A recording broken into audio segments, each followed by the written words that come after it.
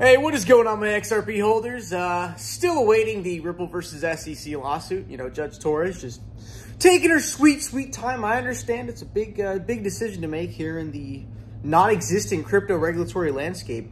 Speaking of the non-existent crypto regulatory landscape, uh, guys, some big news has come out that um, they're trying to get rid of Gary Gensler. Now, I'm just going to tell you right now, this is nothing set in stone. This is no new law that actually came into place, but there was a big tweet that was put out by Congressman Warren Davidson.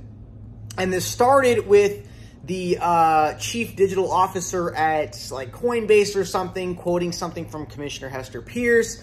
And Commissioner Hester Peirce is basically saying that like, okay, hey, well, uh, you got these entrepreneurs, these innovators are trying to build new technologies and do great things and take big risks and develop new technology. And there is no regulatory adaptation to that new technology. Then the, you know, that guy from Coinbase was just championing this and saying, hey, this really hits right at home.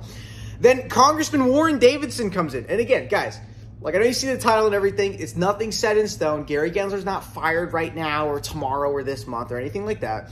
But the fact that the crypto war has gotten so big and so out of hand where they're just going after like every company in the crypto space and they're not stopping. Just today, they file a lawsuit against Bittrex for violating, you know, federal security statutes, right? And then also the chief executive officer is also facing charge, charges as well, the former one.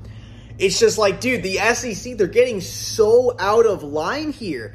And then what's funny is like when they come after the Bittrex, right? Let me read this article right here. It's like SEC enforcement director, I can't pronounce his name, but he says that uh, this should send a message to other non-compliant cryptocurrency market intermediaries. It's like, well, dude, has crypto intermediaries being compliant with the SEC, has that ever achieved anything? Like, no.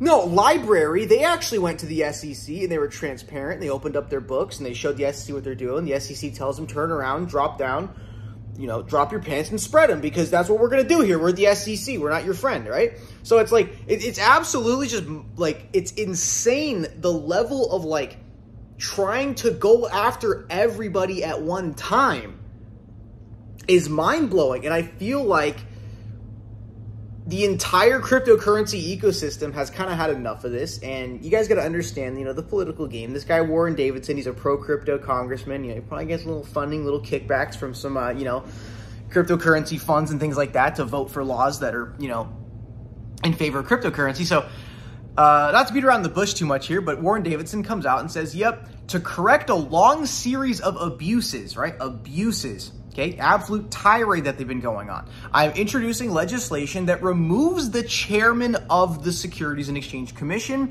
and replaces the role with an executive director that reports to the board, parentheses, where authority resides. Former chairs of the SEC are ineligible, including Gary Gensler. So this is, again, nothing set in stone. This is all just hearsay and talk, but this is a congressman introducing legislation to kind of reconstruct the way the Securities and Exchange Commission works, where instead of having, you know, one guy with all the power and having basically like a dictatorship, uh, they're going to restructure it to executive director that has to report to a board, which makes it a little more decentralized, I would say, but I mean, it's still government, so you can't really call it decentralized, but it's a little more decentralized than what we have now, which is Gary Gensler uh, swinging his fists at absolutely everybody. Kraken, Bittrex, Ripple, LBRY, fucking Kik token. I don't know, the other, several other companies they keep going after. It's like they're literally going after everybody all at once, going all in, you know, great use of our taxpayer dollars, stifling innovation and, you know,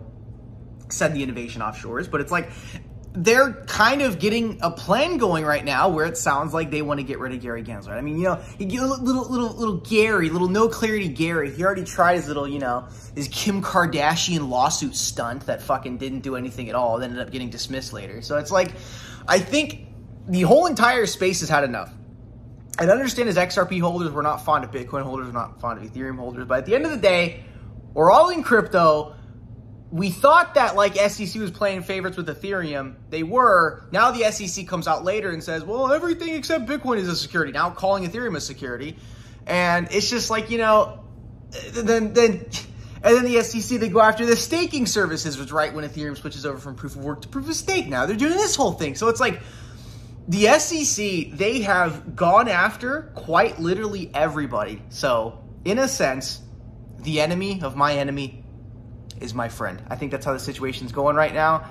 And yeah, a congressman announces two days ago that he's introducing legislation to fucking remove Gary Gensler.